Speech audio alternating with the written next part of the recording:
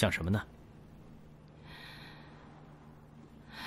我在想，我们的婚姻是不是一个错误？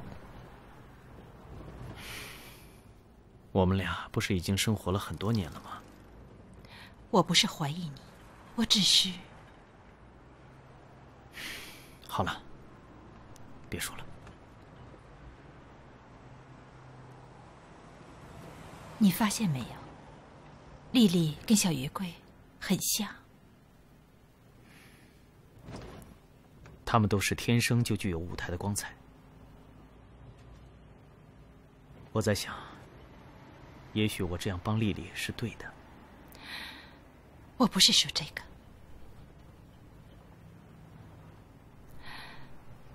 你觉得我们这样生活幸福吗？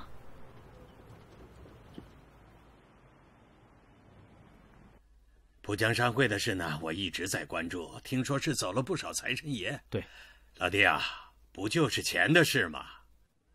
等过一阵，上边土地政策宽松了，我把铁号街的那两块土地批给你，你随便盖两栋公寓，不就是白花花的银子吗？吴市长，土地的事我先谢过你了。哎，不过办银行，哎呀，办银行的事儿，呃。老爹，你是自己人，我不妨给你一个准话。上个月你把材料一报上来，我就立刻报给财政部了。我也找财政部长的王司长打听了，现在他们根本顾不上批文的事。美国刚弄了个什么购银法，搅得世界市场大乱，财政部忙着对付通货膨胀，还来不及呢。吴市长总是有办法的。就说王司长好了，他可是您耶鲁大学的同学呢。你小子功夫做得挺足啊，赤化分子十分狡猾。我们官方出手，必须要顾及公众的舆论。只要你帮助除掉郑徐两位会员，他们两个已经不是会员了。不，是会员，那你就是帮了政府和保安局一个大忙。怎么了？我的脸上有什么东西吗？嗯，没有。我在想啊，是不是让何丽搬过来住啊？不好，不好，不好！为什么？我们这屋子都是女人，她一个大老爷们在那多不方便啊。再说，她在码头那边有宿舍，她跟她的工友们混在一起，无拘无束的，挺开心的。可是你跟何丽毕竟是四十多岁的人了，是不是？嗨，都多大岁数了？那么大的坎儿都过去了，这些对我们来说都是小事。对了，上次还是你跟于启阳求情，才脱离浦江商会的。只要他不在江湖上打打杀杀，我就满足了。你已经帮我实现了最大的心愿。那何丽现在在码头那边怎么样？听说已经被选为工会主席了。工会？对，跟码头公司没什么关系，就是他们工人自己弄了一个组织。嗯，也就是哪个工人受了欺负，这个组织替他们说话出面。那不是和浦江商会是一样的吗？是吧？嗯，不一样，至少跟现在的浦江商会不一样。我看还是让何丽搬过来住吧。我和丽丽住二层，你们俩住一层，这样谁都不影响。真的不用，你不用跟我执拗了。我已经决定了，夫妻团聚才是最重要的。嗯，我怎么觉得我欠你的越来越多了？阿丽啊，阿丽啊，郑老板、徐老板，请坐。哎呀，我们没想到自己的货还能回来。阿丽啊，这次可多谢你了。哎，哎呀，我还得感谢二位爷。多亏了你们捐助我两万块钱购置武器，要不然我怎么能跟那帮蓝衣社对着干呢？阿丽啊，说实话，当初带着钱去找你，就是听说在上海只有你们码头工人联合会有这个胆子跟蓝衣社这些狗腿子叫板。也不知道是真是假，我们只有死马当活马医了。离开浦江商会，我们心里慌慌的，觉得不安全呐。真是没想到啊！你们居然把货给找回来了。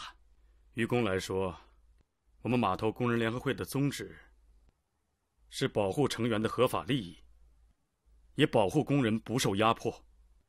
于私来说，二位爷看着我长大，你们是我的长辈，你们遇到窝心的事，在我合力力所能及的情况下，我不能坐视不管。阿丽啊，如果于其阳有你一半明事理，我们也不至于退出浦江商会了。我跟阿奇从小一起长大，一起出生入死，他是什么人，我最清楚。阿奇并不是一个不仁不义、见死不救的人。我为阿奇说句公道话吧：浦江商会现在混不下去，主要原因是他的目标太大，稍有不慎，就是政府的打击对象。阿奇肩上的担子太重，所以他行事格外慎重。阿奇接手商会之后，我都看着呢。他虽不如常言有魄力、有远谋，也不如黄佩玉那样聪明大胆，但是他肯吃苦。他把所有的心思都放在商会的经营之上，兢兢业业，不浪费浦江商会的一分钱。按照他现在在浦江商会的地位，他完全可以享受安逸。但是他没有。唉，现在时代变了，他再怎么用心，浦江商会还是不行了。阿奇从小在浦江商会长大，他把浦江商会当成自己的家。如果我是他的话，我也会把浦江商会看得比命还要重。啊，你们看，我说远了。咱们不说这些了。今天特意请二位爷过来，也没有别的意思，就是当面向二位爷道谢。哪里哪里，咱们以茶代酒，祝贺你们找回了货物。谢谢。我也代表阿奇，希望我们像从前一样诚心合作。来。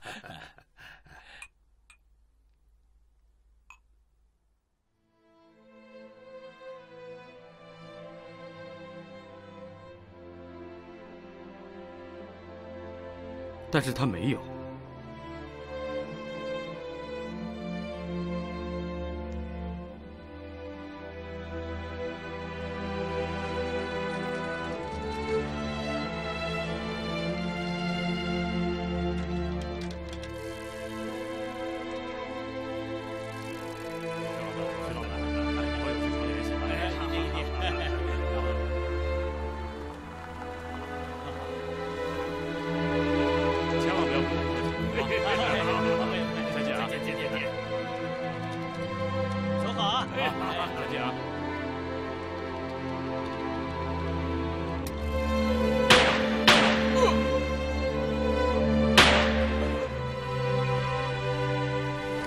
阿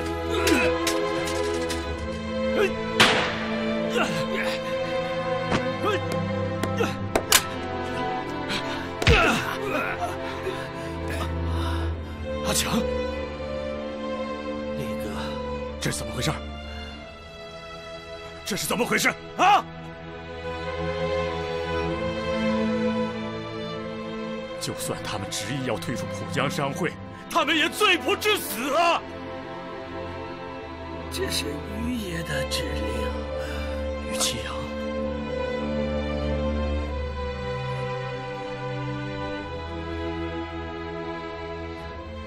咱们好久没坐在一起喝酒了，是有好久了。自从你做了会长之后，怎么样？你过得怎么样？很好。怎么好法？做我想做的事情，把受欺负的人组织起来，讨取公道。你还记得我的想法？毕竟做了一辈子兄弟了。哼。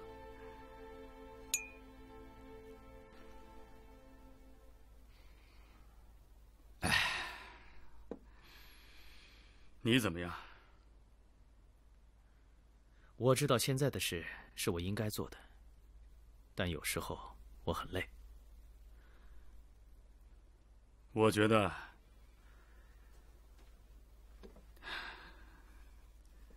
阿奇，你并没有在做你想做的事情。我想做的事是什么？阿奇，你以前常说，找一个山清水秀的地方住下来，买一座山头，栽满苹果树。跟喜欢的女人成亲，生一堆胖娃娃，让孩子们光着屁股在果园里跑来跑去。你坐在树下，看着他们慢慢长大。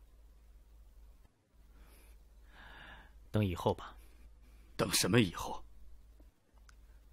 我答应过长野，我要支撑起浦江商会。可是长野不知道你变了，什么意思？阿奇，你变了，你知道吗？我没有。你变了，我没有。你杀了郑老板和徐老板，你指使阿强滥杀无辜，你敢说你没变？是，是我指使阿强杀了他们。你知道为什么吗？为什么？你最清楚。郑老板和徐老板，他们没有错。不，我不知道。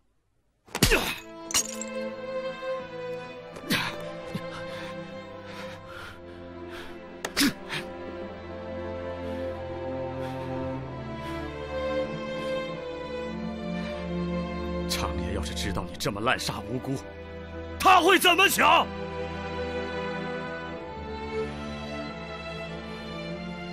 他不会用两个好人的生命来保全浦江商会，他宁可让浦江商会倒。浦江商会不能倒，在我手里，浦江商会不能倒。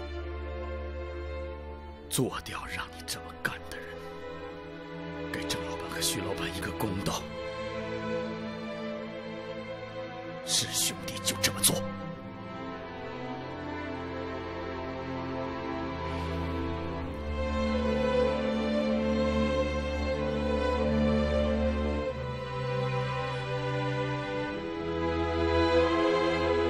我不能这么做。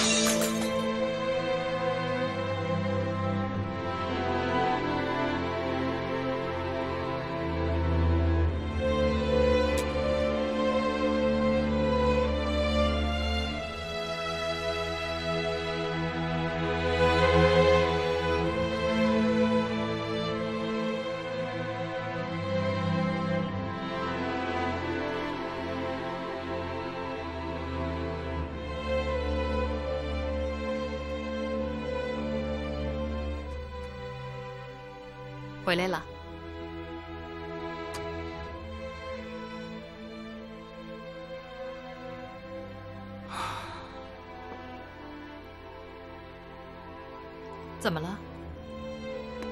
出什么事了？嗯？家里有吃的吗？嗨，你不是约了郑老板、徐老板喝酒去了吗？没吃饱啊？我有点饿了。厨房里有点心，我去给你弄点啊。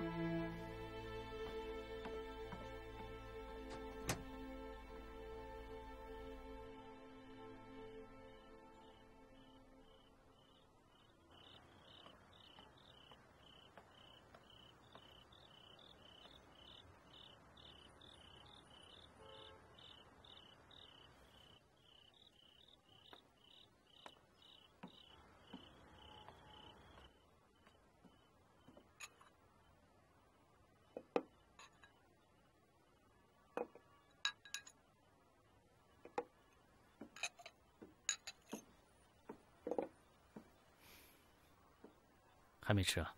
我不是说过不用等我了吗？我已经吃过了，陪我喝一杯。好。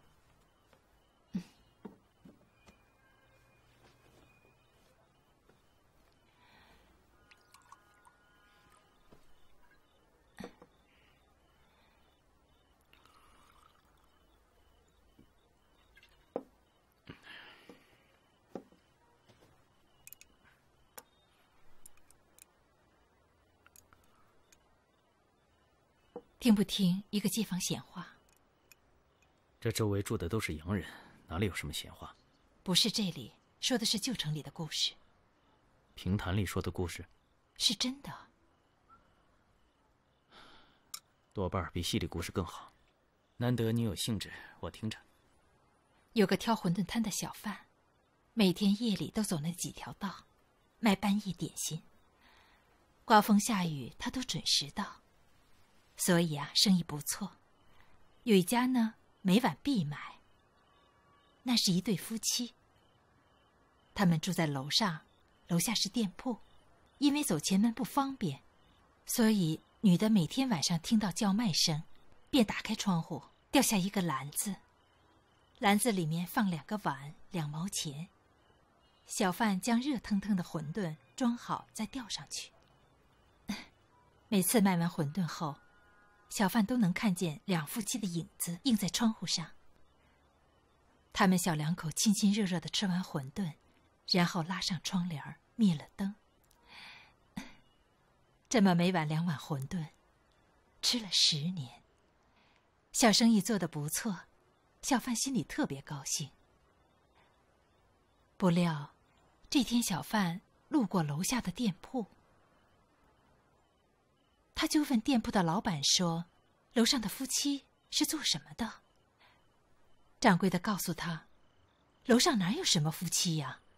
那男的五年前就死了，只有一个女的寡居在楼上。”那男的莫非是？嗯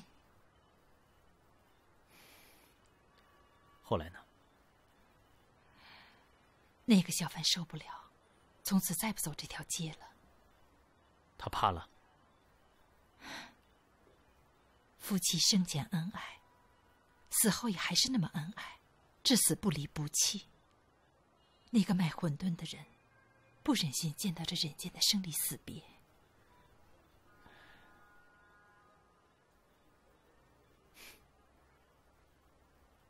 怎么想起说这个？在教会里听到这个故事，总觉得有一首伤心的曲子在心里留住，忘不了。夫妻情深至此，夫复何求？只有这样的婚姻才有价值。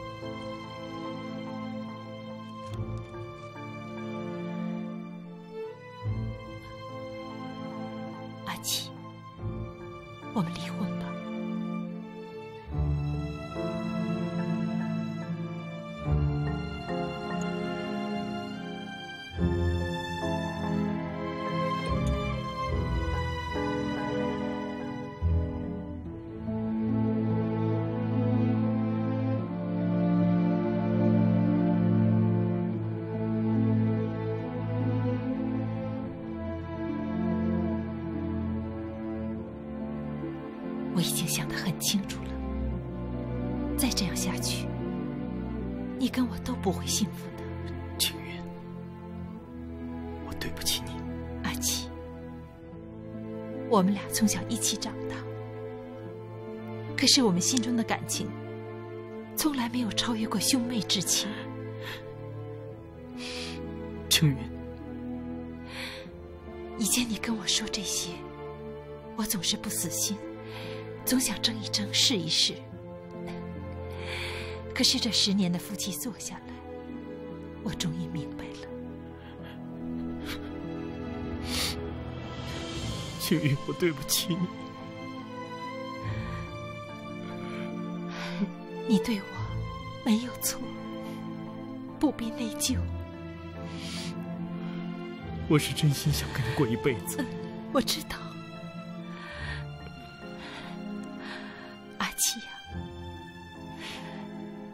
辈子太长了，你不能一直这样欺骗自己呀。难道你要一直这样隐瞒你自己内心的情感吗？其实，你心里真正爱的是谁，你是知道的，我知道。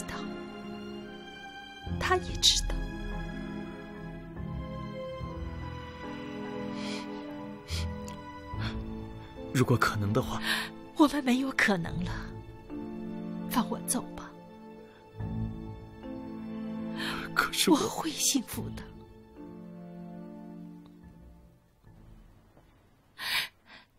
你不用为我担心。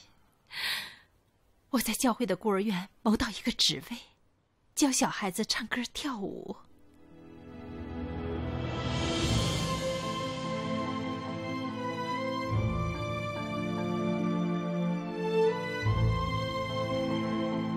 你会幸福吗？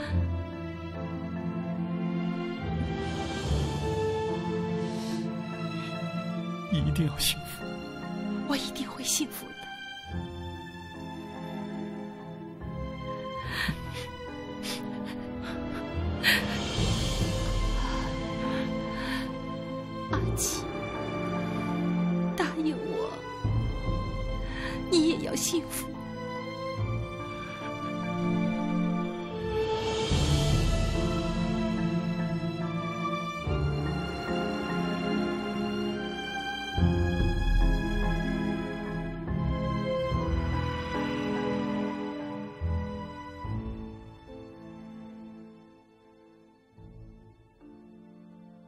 李姐，上面怎么样了？哎呦，这个丫头可不得了了，在房间里整整折腾了一天，又是哭又是笑又是叫的，愣说是排戏，这可真跟戏文里说的一样啊！什么样啊？不疯魔不成活。哎，昨天上午把我叫到他房间里，要让我给他演一棵树，让我这样站着。行了，我去看看燕窝好了没有。啊。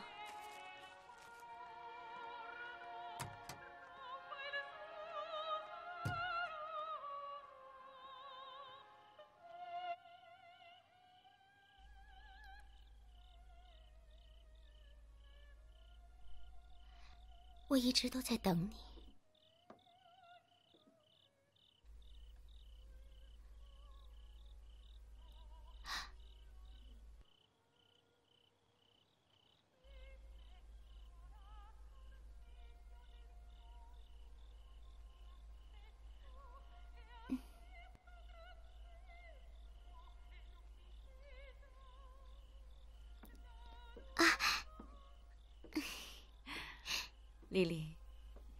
刚才听你的台词，你一直都在等人，你在等谁呀？嗯，不告诉你，是不是心里有人了？嗯，咦，咦，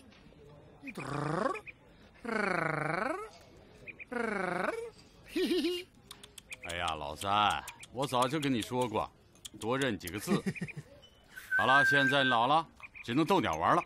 社会上发生的事啊，你一点都不知道啊。老五啊，报纸上的这些东西，什么你杀我，我杀你呀，什么男盗女娼花边新闻，有什么意思啊？哎，老三，又怎么了？老郑和老徐死了。说什么？刚离开商会就出事了？老三。谁敢这么明目张胆的干掉和我们商会有关系的人？政府的狗腿子！阿奇说的对呀，形势比人强啊！唉，人在屋檐下，哪能不低头啊？没办法，英雄茫茫啊！哎，过来，过来，过来！咦咦，老三，哎呦，又怎么了？你怎么一惊一乍的？哎呀，谁死了？完了，我们的船出事了。咱们的什么船？哎呀，是永兴丝绸、向华茶叶行、日照纺织厂、大兴铁号出口英吉利的船是海难，全完了，完了，完了。这不是老天爷要灭浦江商会吗？老三，赶快回商会。这些钱我们根本赔不起，那些债主肯定上门了。阿奇一个人顶不住，走吧。走走走。什么什么钱？就是钱。大家请安静，安静一下。我在这里承诺所有货主，大家的损失，我们一定会按出口价格赔偿给大家。但是现在商会的流动资金有限，所以还请大家宽限几日。那到底什么时候给钱？就是啊，就给给个准数。一个月之内。我们怎么相信你啊？就是呀，我们怎么相信呢？你们可以不相信我，但是浦江商会有百年的信誉，会长可以换人，但我们浦江商会的规矩一百年没有改变过。这这这这就什么事？这这这。哎，怎么样了？货主都回去了。啊，小马，沏些茶。阿奇。你先坐下。再大的事，二位爷的茶也要先喝上。嗯，不要担心，货主们虽然各有损失，但是我已经承诺他们全权赔偿。阿奇啊，我和老三都知道，一时半会儿我们赔不出这么多钱来。阿奇啊，我跟老五到账房查了，咱们这回海难要赔人家二百万，可是咱们加上老本都算上，就能凑出一百万来呀。你说，阿奇啊，我们现在的流动资金总共只有五十万，我们赔不出啊。你说总不至于一场海难让大家都喝西北风吧？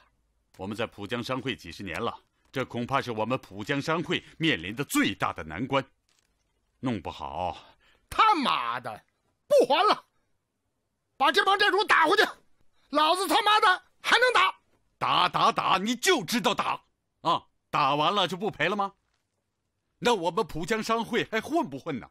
你呀，一辈子都这么混，我混，你诸葛亮，你出个主意。你三爷，事情没有那么严重。咱们商会做大，全靠道义两个字。虽然上海各个帮派讲古风的不多，江湖上义理廉耻、忠孝节义，通通不讲究了，但是浦江商会还得守这两个字，我们不能丢长爷的脸。阿七。你有什么主意？咱们分两步，第一步，在一个月之内，尽我们的努力，先把一些跟商会交情不深的会员的钱还上，把人心安定下来。第二步，尽快把银行办起来，会员们只要看到了我们的经济实力，剩下的事就好办了。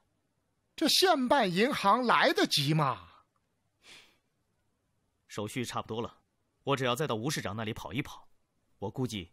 就是这个月的事儿了。哎呀，那先期我们要赔的钱都不够啊！五爷放心，这个我来想办法。哎呀，你有什么办法我还不知道吗？这么多年，你那点钱早就在霞飞路买房子了。对呀，我已经委托经纪人把房子卖掉了。啊，不对，那你跟老婆住哪儿去啊？我跟庆云已经离婚了，我现在是个单身汉，住那么大的房子没用。哎呦，你离什么婚呢？再找一个。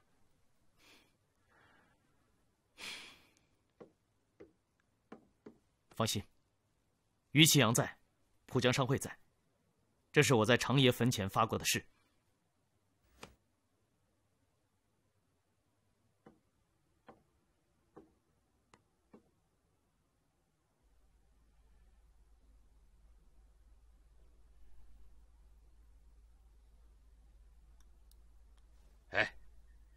这个，不愧是浦江商会啊！啊，哎，做事干净利落。哈，政府感谢你呀，兄弟。设计很妙，若建成了，无疑将给新时代的上海增添异彩。政府已经买下了这三块地呀。还是市长有实力，再大的商人要同时建四栋大楼，恐怕是不可能的。小兄弟，市长大人也是用国家的钱啊！现在跟你年轻时候不一样了，国家最大啊！这里绝对是黄金地段，四川路、江西路口，周围都是银行和商业区。对呀，这个内部设计以办公楼为主，上半部分都是办公楼，下层是饭店、旅馆，最上边是咖啡厅，可以俯瞰全上海啊！这是目前上海市最雄心勃勃的建筑计划。这个赚钱的买卖，我是不会忘了你的，啊！我跟财务局商量过了，由你来经营，目前这最大的开发项目，给你们浦江商会百分之三十的股份，百分之七十参观股，怎么样？谢谢吴市长。最近你们商船出的事，我听说了，焦头烂额了吧？这个项目正好解你的燃眉之急。吴市长想的真是周到，银行的事也赶快办起来。我给那个王司长打电话了，让你的申报材料插个队。啊，现在呢，局里正在审核你们的材料，只要批文一下来，你们马上能正式启动了。不知道批文什么时候能回到市里？你这年轻人呐，那么沉不住气啊？我这里还有一个人，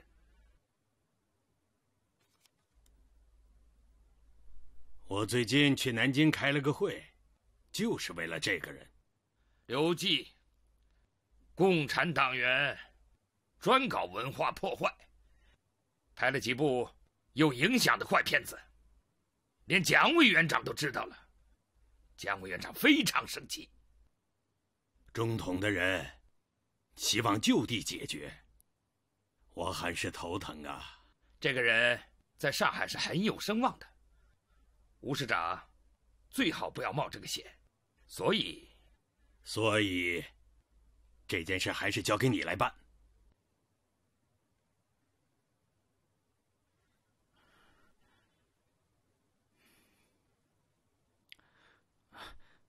我可以让这个人在公众面前消失。呃，但是这个人跟我的朋友有点关系，所以可不可以留他一条命？这个人是一个顽固的共产党员，苦头必须要吃的。既然你求了情，这事就交给你来处理。只要他从公众面前消失，不再有能力闹事，啊，此人是知识分子，我们对知识分子一向是爱护的。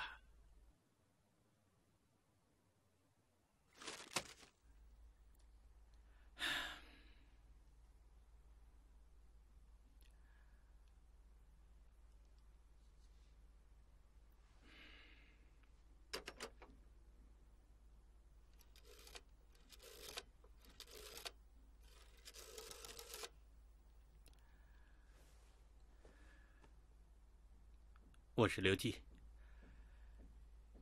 月桂啊，有件事情是关于新丽丽的。哎，你们老板没有通知你吗？通知什么？这个角色是我的。通知了，可是上次我跟你说过，这世界不是围着你一个人转的。你，我就知道是你捣的鬼。你竟然敢把我换掉！你为什么把我换掉？是我。啊，不巧，龚老板也是我的朋友。为什么？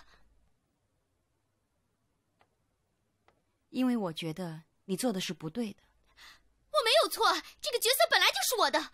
谁告诉过你这个角色一定是你的呢？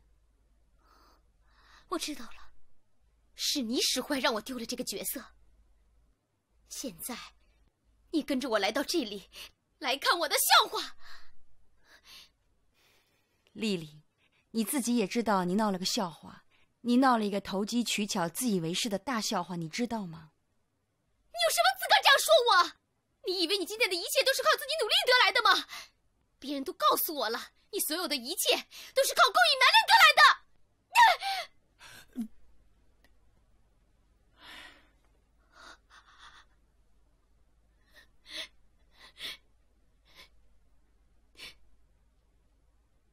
你打我！你又不是我妈，你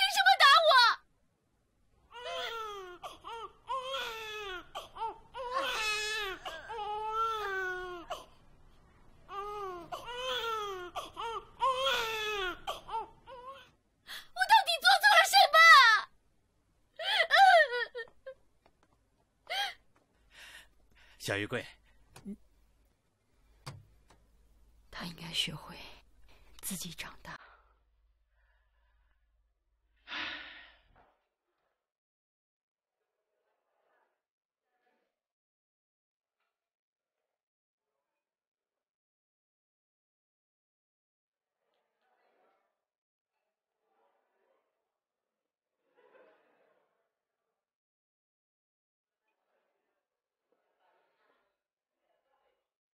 小姐你好，请问来点什么酒？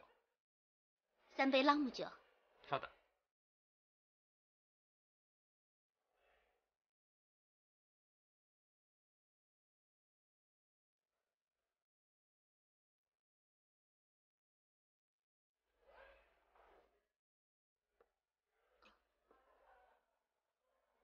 请慢用。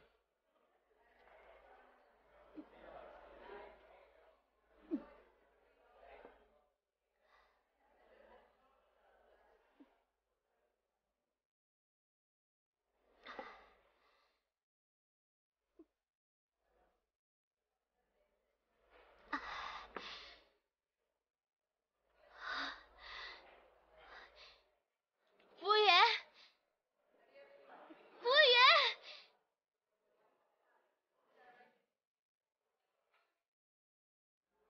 请慢用。哦，哈，小姐，可以坐吗？可以呀、先生。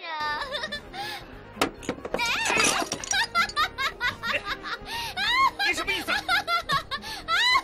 对不起，对不起，这是佳妹，受了点委屈，多喝了两杯，冲撞之处请多多包涵。谁是你家妹妹啊？呃，对不起，对不起啊。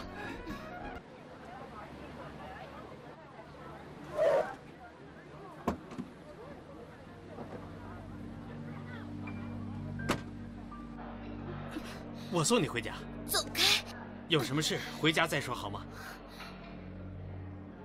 我没有家，小公馆就是你的家。不是。我的家在一品楼，我的妈妈叫辛黛玉，不是小月桂，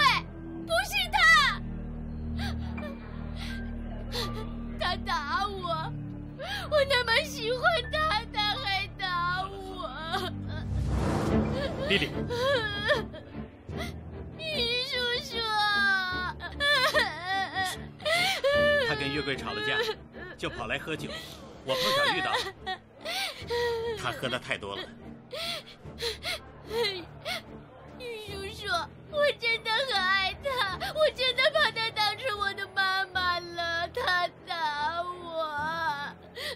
好我送你回去。好谢谢啊。再见。走慢点。